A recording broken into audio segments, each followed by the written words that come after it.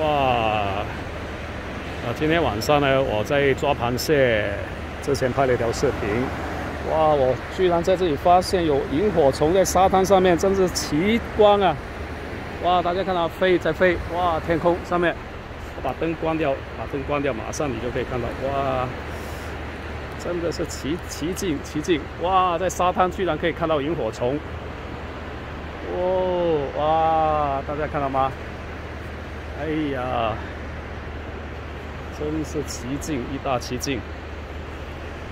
哇，刚才只有一只，只有一只从这边飞过去了，现在不见。哎，在上面，在上面，在上面一闪一闪的。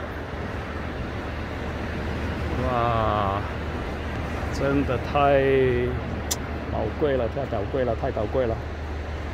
居然在沙滩上面看到萤火虫，你有没有看到？你有没有看到过？你看到过没有？哇，真的是神奇神奇，太神奇了！唉，不见了，就一只，也许是从岸上面的那个草堆、草丛那边飞过来的，就这么一只。希望刚才拍的时候能够拍得到。我今天大有收获，哈哈！哎呀，给大家看看，我差不多要收工了，因为这个浪已经从这个海面打过来了，已经快要到岸边了。大家看到吗？这个浪，哇，好大！现在是呃大涨潮、大退潮。今天看看我的收获了，哇！虽然没有这个越南的朋友那么收获那么多，但是也不错。大家看看，哇，也有好多只哎，起码六七只，六七只。呃，那个啊，我还抓了一条小石斑鱼，我看不到，现在因为被淹没在这里边了，我想。给大家看看我刚才之前拍的那条视频，说有小石斑，小石斑非常小的 mini 的 baby baby 石斑鱼啊，证明给大家看，对，还在还在，它没死掉，还在还在，看到吗？哎，中间那一条，哎，对对对对对，小石斑，小石斑鱼啊，看到了啊，石斑，小石斑。还没死，哇！这条小石斑鱼是用来钓鱼的，明天用来钓鱼。还有抓了一些小螃蟹，也是明天要来钓鱼的。还有一些螺是可以晚上吃的，呃，收获很不错，哈哈，挺满意的了。走了，我就要收工了，我带备带齐我的设备，我的工具。这个工具今天用过，还算可以，不算特别好，因为有些地方还因为第一第一次做，第一次制作，还有一些地方要需要改良。到时候改良以后的话，我再拍一条视频来告诉大家。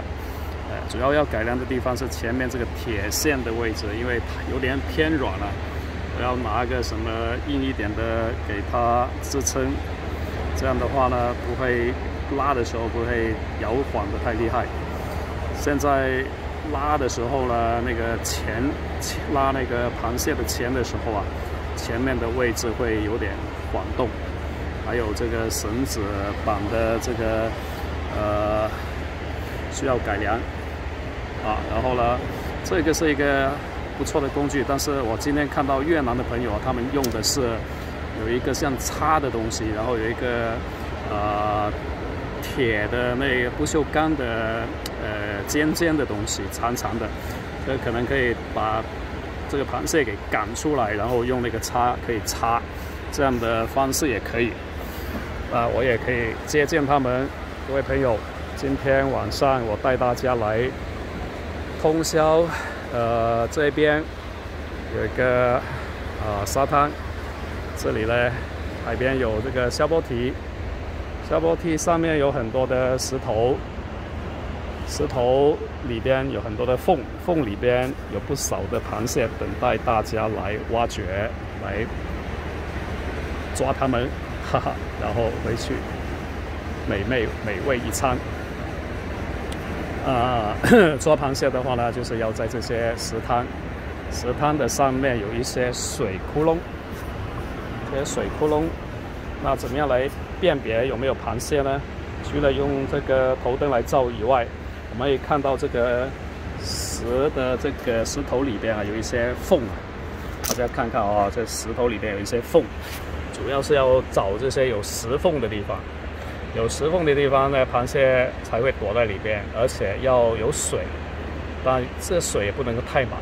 螃蟹好像不是很喜欢这个长期猫在这个比较满水的地方。啊，这样的就是一个标准的洞穴。但是呢，当然这个洞穴这个挖下去的这个石缝越大越好，水不要太多，像现在这样就是最标准的了。啊，那么大家有机会到沙滩玩，一定一定要抓紧时间来抓螃蟹，因为真的野生的螃蟹真的很好吃。既然我们越南的朋友一些外劳，他们都很会利用我们的海洋资源，为什么我们台湾的朋友，或者说已经移民台湾的香港朋友，你不会？去利用这样的自然、天然的环境、自然的、天然的海洋资源，来去抓螃蟹，自己享受这个美味之外，也可以当成是一种娱乐。